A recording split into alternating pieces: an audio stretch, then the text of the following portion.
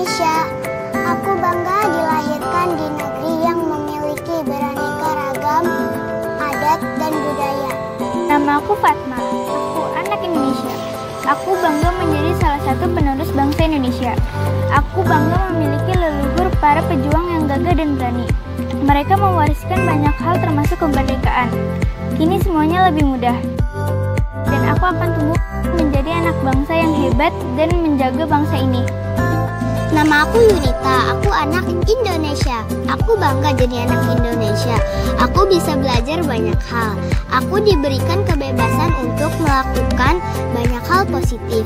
Aku ingin cepat dewasa agar aku bisa melakukan banyak hal lagi untuk Indonesia yang lebih baik. Salam anak Indonesia. Salam anak Indonesia.